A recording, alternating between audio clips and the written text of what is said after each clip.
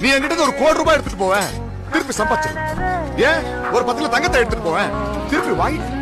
ஆனா என் செல்லத்தை எடுத்துட்டு போனேன் எப்படி இதயண்டா அவைய அவைய வைஃப்டா டார்லிங்கு